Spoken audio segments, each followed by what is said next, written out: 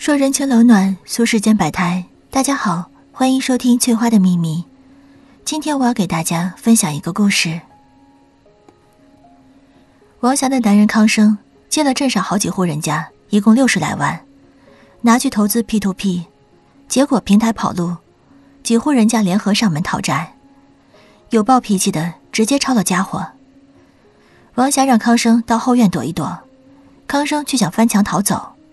结果翻的时候一脚踏空摔下来，动作太大，前院一伙人全听见了，匆忙冲到后院捉人。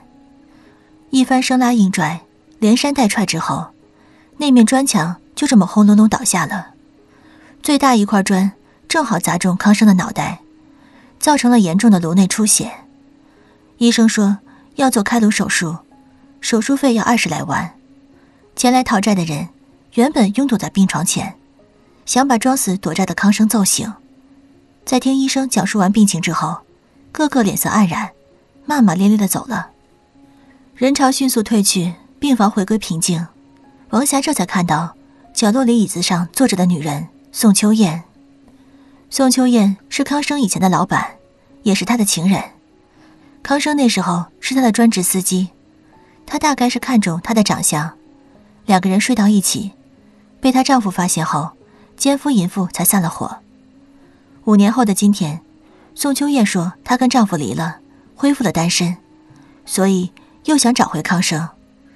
结果就听说康生现如今的悲惨处境，所以过来看看。王霞仔细打量一下宋秋燕，发现她比五年前老了不少，皮肤松弛，眼皮耷拉，眼角好几道细纹，头发干枯，毫无光泽。当初在康生手机里，王霞看到宋秋燕的照片时，内心是何其崩溃啊！对方不仅比她有钱，还那么美，肤如凝脂，光彩照人。一个底子很好，同时又有钱保养的女人，何以在短短五年里迅速衰老？比她这个抹大宝的人还不如呢？王霞心想：糟了，她不会破产了吧？破产了，心情不好，所以皮肤变差。破了产没钱保养，才变成现在这个样子。要么就是离婚闹的，也是啊，多少人离个婚就跟死过一回似的。王霞试探的问：“你只是来瞧瞧，不是来拿钱给他手术的？”宋秋燕疲倦的一笑：“我为什么要给他出手术钱？除非……除非啥？除非你让他和我结婚。”王霞没想过。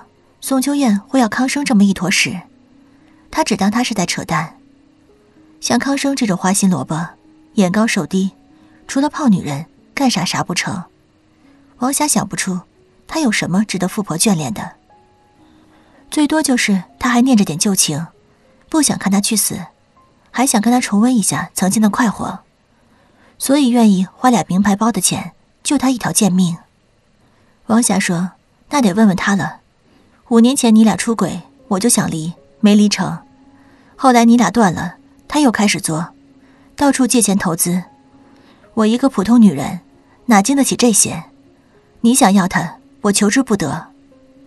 他不过是以为玩笑对玩笑，不料宋秋燕很认真的回他：“既然你这么说，那我也打开天窗说亮话。我可以出钱给他动手术，但等他手术完了，清醒了。”你就和他办离婚，只要你们离了，他欠的债我帮他还，不会落到你头上。我还另外给你十万。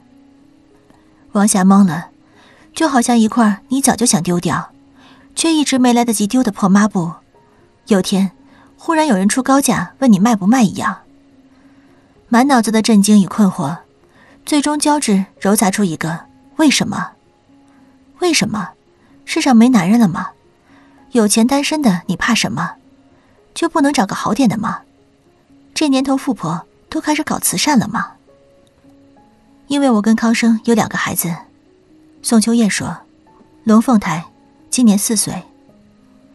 一道惊天炸雷劈得王霞头晕目眩，待稍稍恢复点神智之后，她正要口吐芬芳，被宋秋燕制止了。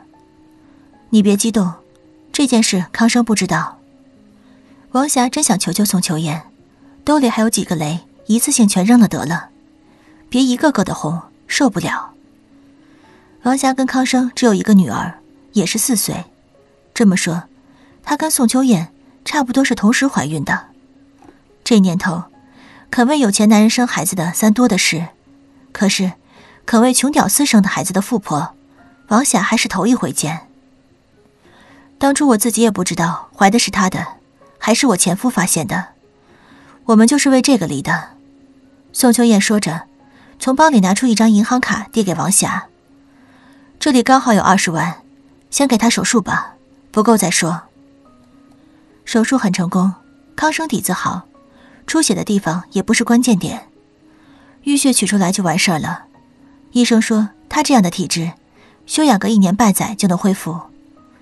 待他能下床，王霞把宋秋燕想跟他结婚，并且跟他有两个孩子的事说了出来，惊得他开颅手术差点白做了。一旁的宋秋燕见状，从包里掏出手机，翻出俩孩子的照片，说：“你自己几斤几两，不用我说，你也明白。你老婆跟你这些年过是什么日子，你比谁都清楚。今要是没我，她只能眼睁睁的看着你死。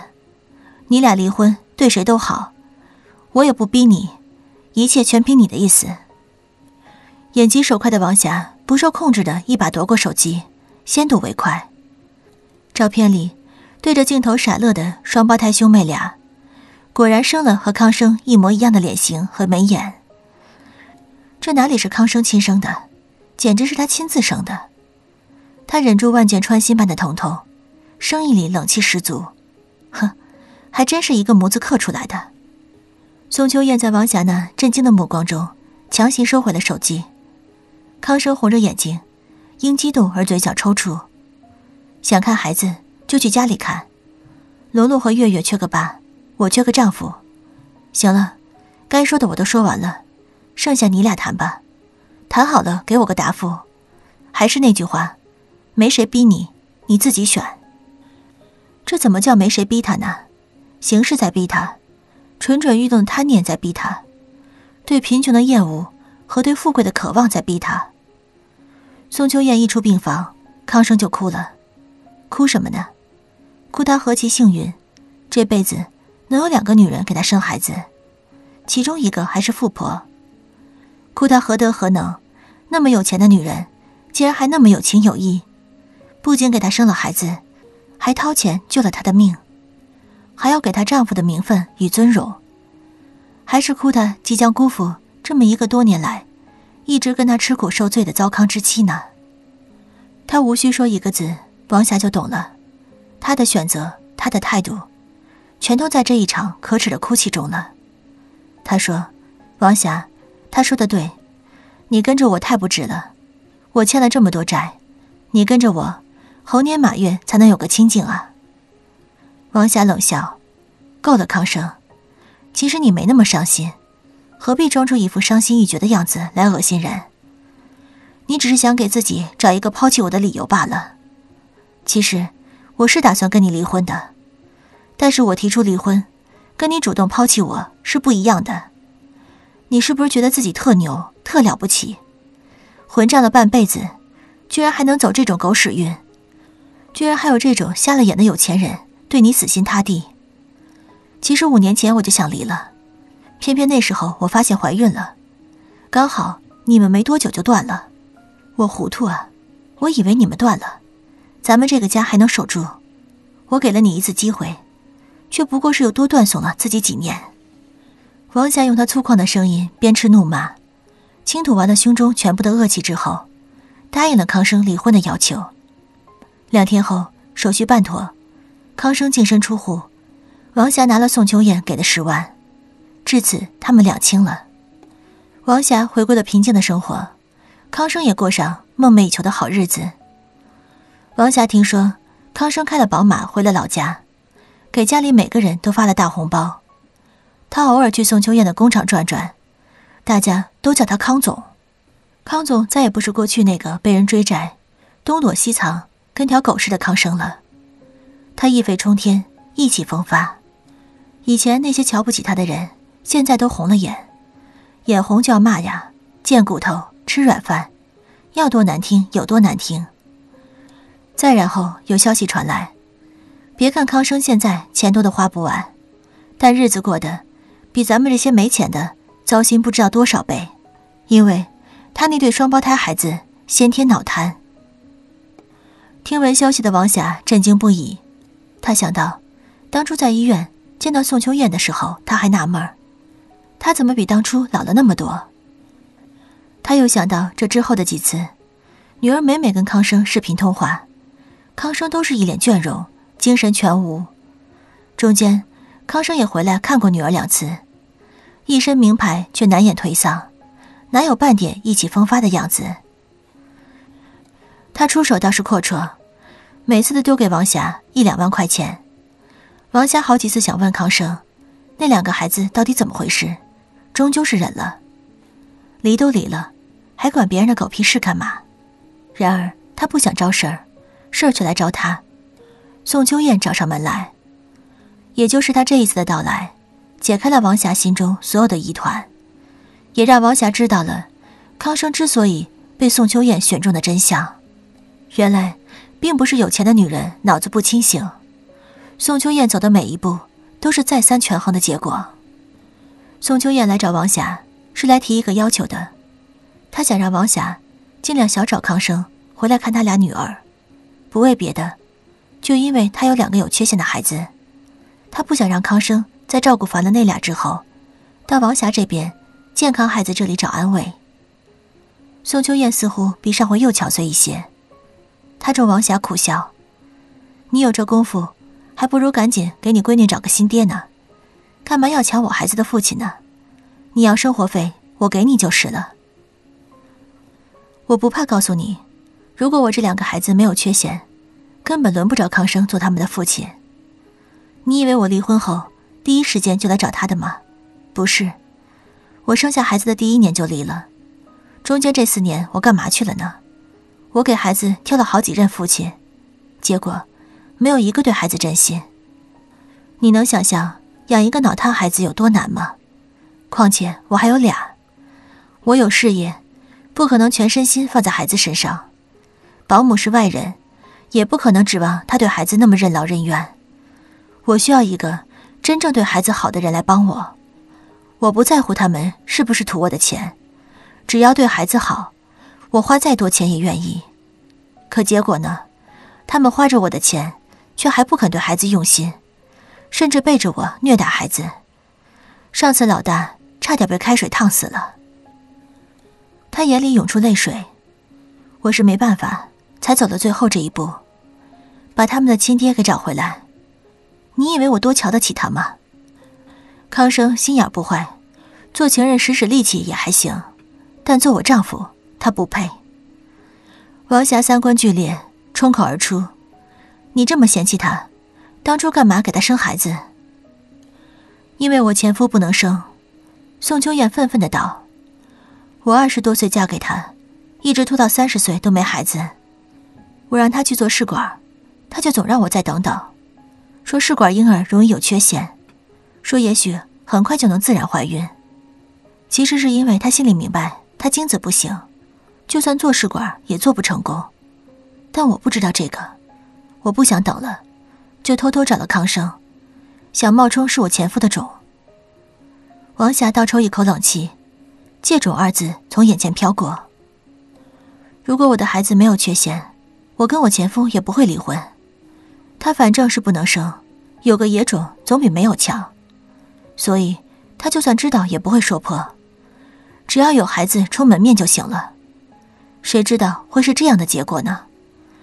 我前夫不能接受这样的孩子，可我不能不接受啊！他们是我怀胎十月，千辛万苦生下来的。宋秋燕哽咽落泪，一脸悲戚，说着，她又苦笑。现在有了康生，我总算能喘口气了。他是孩子亲爹，再怎么也不会虐待孩子，再怎么，也比那些没有血缘的强。保姆不想干。或者干不到位的那些事儿，他好歹也会伸个手。孩子去医院做康复，或者在外面透气时，他好歹也能接送看护。晚上孩子闹夜，好歹也有个人爬起来安抚。我知道他也烦也累，所以，我给他办了高额度的信用卡，让他想花多少，基本上就能花多少，让他习惯这种奢侈的物质生活。有金钱绑着他，又有血缘拴着他，才能让他不那么轻易离开。这一刻，王霞竟不知道，该对他寄予同情还是嘲讽。她本应痛恨抛弃她的前夫，却在知道他由始至终。只是一颗被利用的棋子之后，软了心肠，对他由憎恶变成同情，唾弃变成了唏嘘。果然，感情世间并没有那么多的狗屎运，世间也没有那么多无缘无故的深情意重。美好的背后或许藏着经营算计，幸运的背后也可能是巨大的不幸。自以为备受命运眷顾的他，不过是他人。万般无奈之下的末等选择。康生这一生的好运气，都在他犯下下半身错的那一刻消耗殆尽了。现在的他又能怎么样呢？就算知道被欺骗、被利用，他也只能硬着头皮一路走下去。王霞本应憎恨这个破坏她婚姻、以金钱玩弄他人于股掌的女人，却在看到她作为一个母亲的脆弱和无助时，不忍再骂她。最后，他只能回他一句：“放心吧，我女儿懒得跟人抢爸爸。”好了，今天的故事就到这里。如果您有喜欢的故事，记得在视频下方留言，我们会尽力满足您的需求。期待下次与您的分享。